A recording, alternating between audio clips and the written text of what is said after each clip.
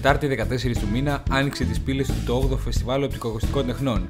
Διοργανώνεται από το Τμήματα Μουσικών Σπουδών και Τεχνών Ήχου και Εικόνας του Πανεπιστημίου της Κέρκυρας. Τα εγγένεια έγιναν με την έκθεση σχεδίου στη Δημοτική Πινακοθήκη, όπου παρευρέθησαν φοιτητές, καθηγητές και επισκέπτες από όλη την Ελλάδα. Ήδη από τις δύο πρώτες μέρες τρέχουν εργαστήρια και παρουσιάσεις ήχου και εικόνας. Η κάμερα του Night Stories θα παρακολουθήσει το φεστιβάλ μέχρι το φινάλε του την Κυριακή 18 Μάη και θα μεταδώσει την εικόνα.